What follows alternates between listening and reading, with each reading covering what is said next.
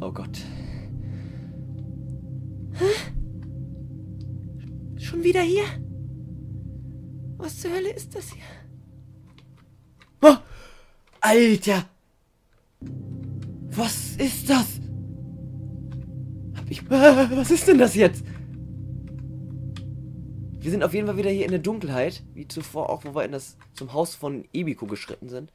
Und hier sind komische Quadrate, die hier aufblitzen. Ich gehe jetzt einfach mal wieder ganz schnur geradeaus.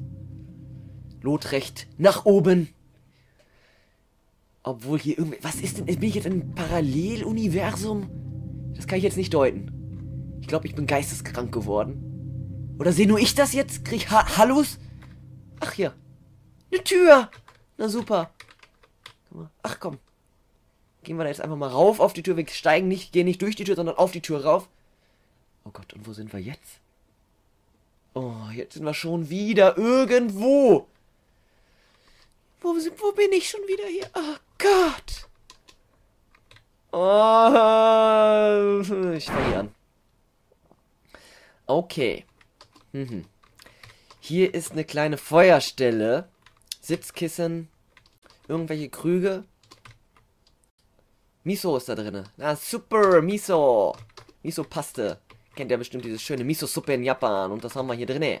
So, gehen wir hier. What the fuck has happened here? Was ist hier los? Ah, ah. Was zur Hölle? Was ist das? Hier, was hier passiert? Oh Gott, die wurden ja direkt hier einmal den Torso durchgeschlitzt und dem wurde alles hier entnommen. Sehr schrecklich. Schrecklich, schrecklich. Es sieht, die sind also Leichen, die aussehen, als würden sie mit einem japanischen Schwert zerschnitten. Ja, genau so sieht das aus hier. Einmal so quer durch. Und dem fehlt hier so ein Teil Kopf, glaube ich. Oh, ist das grauselig. Also, diese Leiche hat Wunden, die aussehen, als würden, würden sie mit einem Schwert im Gesicht und am Bauch rumgeschnitten. Na gut. Hier sind viele äh, Handtücher drin. Hm, kann man die nicht mal... Sie könnte sich doch mal engagieren und das Blut mit den Handtüchern wegwischen, aber macht sie nicht. Macht sie einfach nicht. Weiter geht's. Boah, ich habe echt Angst. Hier, die werden, wollen mich bestimmt gleich wieder tausendmal erschrecken. Hier ist es dunkel und ich sehe nichts. Okay, jetzt passiert nichts mehr, oder wie? Abgestürzt. Ach! Okay. Ich habe im wahrsten Sinne des Wortes nichts gesehen. Ähm, bevor ich hier hochgehe, gehe ich erstmal noch rechts. Also ich will das schon systematisch abgrasen, hier das Gebäude. Gehen wir mal durch und gucken. Oh Gott, hier ist eine Bibliothek. Erstmal die Krüge und dann müssen wir noch nicht die gleich... Oh, die ganzen Bücherregale. Ja gut, das kann lang dauern. Denn die können ja bekanntlich auch von beiden Seiten hier getriggert sein. Ist ja immer noch mit dem Wolf RPG Maker gemacht und da kann man das so auch programmieren. Gucken wir einfach mal. Das dauert jetzt ein bisschen, es tut mir recht herzlich leid. Ich kann ja die Zeit ein bisschen mit sinnlosen Fragen überbrücken. Wie zum Beispiel, mh, hm, lest ihr vielleicht gerne? Wo ich ja gerade Bücher anklicke. Lest ihr gerne? Was lest ihr denn gerne, wenn ihr lesen, gerne lesen solltet? Ich zu meinem Teil lese sehr gerne. Äh, hauptsächlich Bücher. Meist Sachbücher. Also ich bin nicht so der Roman-Freak. Also wenn dann Sachbücher. Und meist in Bezug auf Japan. So, das reicht des persönlichen Smalltalks hier habe ich die Zeit natürlich sehr gut und sehr intelligent überbrückt.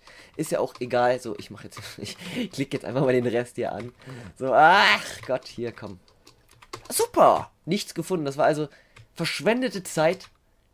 Naja, egal, komm. Raus. Zweiter Stockwerk wartet bereits. Jetzt geht's mal hoch. Oh Gott, oh Gott, oh Gott. Eins, zwei, drei Türen. Wobei die dritte ein bisschen angekaputtet wurde. Gehen wir erstmal in die erste Tür rein. Okay. Hier ist wieder ein Wandbank und die sagt, das ist Kunst. Okay, das ist eine sehr nüchterne Aussage. Kunst. Shimoko muss es wissen. Ihr Gespür für Kunst ist unfehlbar. Ah, oh Gott, oh Gott, oh Gott. Hier ist eine große Puppe. Alter, was ist das? Ah, eine große Puppe mit übergroßen Lippen. Äh, weg. Bringt ihr mir... Was, was mache ich denn mit der? Habe ich denn irgendwas im Inventar noch Neues? Hammer. Jagdgewehr. Hat der wieder keine Munition? Rückenkrauler. Und Telefon. Ich habe ah, ich habe immer noch keine Verbindung hier, kein Netz. Aber dieser um 8 blinkt ja schon was. Dieser Raum ist auf jeden Fall eine Fehlanzeige gewesen. Nächster Raum folgt zugleich. Ach, da ist er. Erstmal den Speicherstopp, das ist das Wichtigste. So, gucke ich da mal nochmal hier in den Schrank. Hier sind Kleidungsstücke drin. Ach, hier blinkt noch was, das nehme ich noch auf. Das ist was? Das ist das Bild von vorhin? Was? Was? Gott, oh Gott, oh Gott, oh Gott, oh Gott, oh Gott. Was ist das? Oh, das ist ja eklig. Hä? Stand nicht? Ja, okay, also anscheinend. Links war ja dieser Utah-Typ, glaube ich. Ne? Dann das andere, zweite Stelle war ich, also Shimoko. Dann ist jetzt Ebikos Gesicht. Also Freundin, meine Freundin Ebiko hat so ein bisschen leicht verzerrtes Gesicht. Marke Ushi Glas. Und letzte ist ja hier Dingens hier. Shigemi aus Tsukute. Ihr wisst schon, ich muss da gar nicht erklären. Guckt einfach die vorigen Teile, dann wisst ihr das Bescheid. So, ja. Ganz eklig, ganz schrecklich. Hier sind Futons schon mal gebettet, aber wir können nicht schlafen. Deshalb speichern wir erstmal. So. Next. Speicherstatus hier. Data Number 13. Eine Stunde 18 schon. Naja, das ist ja schon hier was. So. Jetzt kommt der zweite Raum.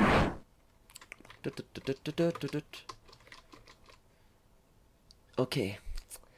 Hier steht was geschrieben. Ich muss das mal lesen. Äh, als der Befehl des Königs missachtet wurde, wurde das Dorf von einer wurde an, äh, begann das Dorf von einer Katastrophe heimgesucht zu werden.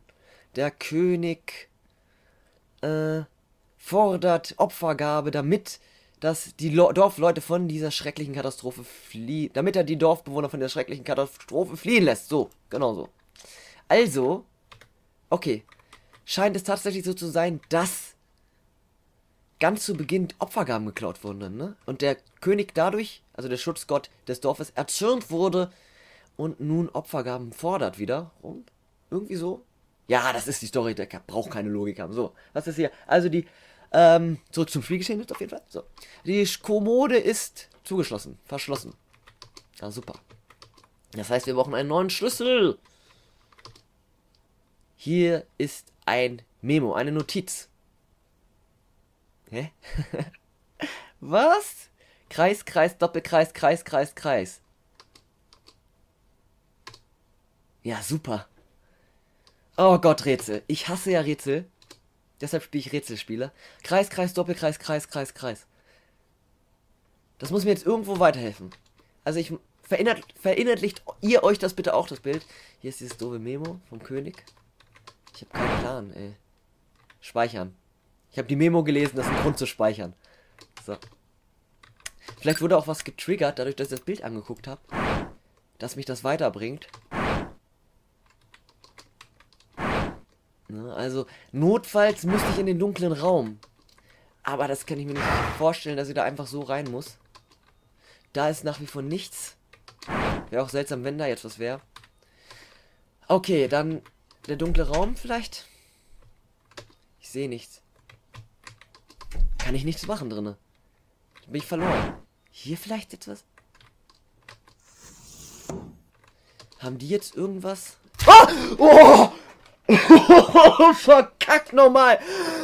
Oh Gott! Jetzt habe ich mich tatsächlich wirklich mal richtig erschrocken. Du Kack! Drecksau! Warum fällst du auseinander, wenn ich da gerade reinkomme? Uh, hat der, der hat doch bestimmt jetzt irgendwas. Da wurde was getriggert. Hammer. Da hau ich gleich nochmal rauf. Kann ich was aus seinem Kopf operieren? Raufschießen. Rückenkraulen nochmal. Letzter Rückenkrauler geht nicht. Telefonieren kann ich auch nicht. Ja, super. Es bringt mir ja nichts. Oh, ich, muss mehr, ich muss mehr konzentriert hier rangehen, sonst erschrecke ich mich bei jedem Kack hier. Da fällt ihm einfach mal der Torso ab. Ich kann ja die Krüge. Habe ich versucht, die Krüge kaputt zu hauen? nicht die Lampe kaputt hauen. Ich versuche jetzt einfach mal ein bisschen mehr. Hier. Ja, es ist ein Probiergemache hier. Ach Mist. So. Maybe this. Oh! Das. Hä? Da ich einen Schlüssel. Was? Oh, Kudano, du bist so bedeppert, ey. Kreis, Kreis, Doppelkreis, Kreis, Kreis, Kreis, ja. Hätte man auch vorher drauf kommen können. Dann wird hier wohl nichts sein. Das war also der, die Bedeutung der Memo. Das heißt, wir können jetzt hoch wieder. Einen Schlüssel. So. Und zwar der Schlüssel für die Kommode. Na, hier ist nämlich nichts. Da drüben, drüben können wir nichts machen. Und den Schlüssel brauchten wir ja hier drinnen. Deshalb speichere ich aber vorher nochmal. Man weiß ja nicht. Also ich traue dem Spiel wirklich alles zu, dass hier schreckliche Dinge noch kommen. Gehe ich einfach mal hier rein. Zack, rein. Ins feine Stübchen. So, hier. Jetzt haben wir die Kommode mal geöffnet. Und wir haben ein Feuerzeug bekommen. Raita Oteni Ireta. Sehr gut. Ja, und was machen wir jetzt? Ein Feuerzeug? Licht. Vielleicht? Für den dunklen Raum? Gucken wir mal, was da steht. Ähm, es ist voll betankt mit Brennstoff. Also wahrscheinlich mit Feuerstoff, Benzin. Feu Feuer, Feuer, Feuer. Ihr wisst schon, was ich meine. Benzin.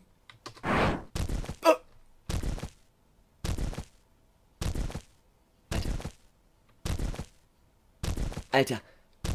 Irgendwas geht hier gerade vor sich. Irgendwas habe ich aktiviert. Ach du Scheiße. Speichern. Was habe ich denn da jetzt eben... Irgendwas habe ich ins Rollen gebracht. Das ist wie bei Slender, wenn man die Notizen einsammelt. So ein Pochen. Alter Falter. Warst du das? Kleiner Mann? Auch nicht. Das ist noch Kunst. Alter! Hört auf! Alter! Was ist das? Was war das zur Hölle? Ah oh Gott, irgendwas Rotes. Irgendwas Rotes. Soll ich dem jetzt folgen oder wie oder was? Es ist weg. Nein, es ist nicht weg. Es ist nicht weg. Komm von der Seite. Was ist denn das? Warum steht das jetzt da? Ich verstehe das Spiel nicht. Jetzt ist da hier so ein, so ein roter Ölgötze, der da steht. Das ist ja hammermäßig. Super. Ich weiß nicht weiter.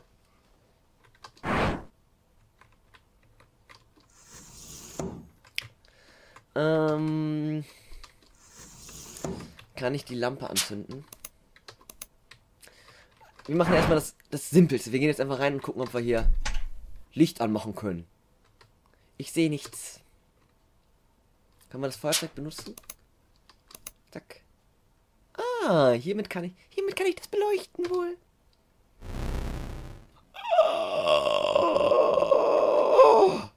Oh Gott, ich hasse es, wenn man der Sichtpegel einfach 0% ausmacht. Hier ist irgendeine Statue wieder. Ach du Kacke, ach du Kacke. Hä, jetzt habe ich Öl fünf Stück bekommen. Ich habe fünf Stück Öl in die Hand gekriegt. Ah! Es bewegt sich! Ah! Alter! Jetzt hat sich das bewegt.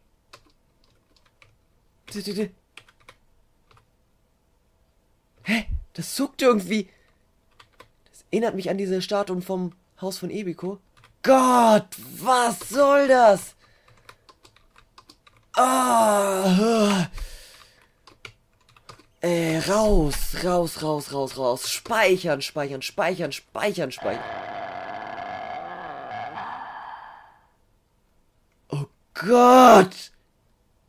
Das war nicht ich auf jeden Fall. Mögt ihr denken, was ihr wollt, das war nicht ich. Nummer 17. Ne, Nummer 18. Jetzt ich 17 übersprungen, egal. Oh.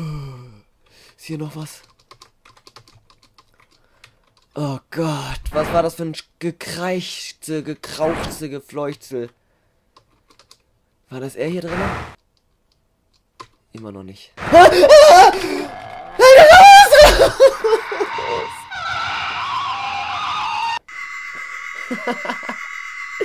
oh Mann. Dreckstyp. Alter, was soll denn das? Der steht hier die ganze Zeit im Regal und dann berührt man ihn, dann kommt auf einmal dieser Rosettenkasper da rausgesprungen. Das ist auch. Wer rechnet denn damit? Weißt du? Nee. Da gehe ich nicht mehr rein. Da gehe ich nicht mehr rein. Kannst du knicken. Obwohl ich muss da wohl rein. Das, das passiert doch nichts. Ich gehe da jetzt einfach rein und flüchte. So. Jetzt, ich weiß, er kommt raus. Ah, raus, raus, raus. Kommt der? Alter, was ist denn mit ihm auch? Was war das für ein Geschreie? Ich muss an den Schrank, glaube ich. Komm her, komm her. Ja, ja, ja, komm her. Nix drin, nix drin. Was? Nix drin. Also, was war sinnfrei in dem Schrank ist nichts. Okay. Das heißt, wir können einfach runtergehen, oder wie? Wieder?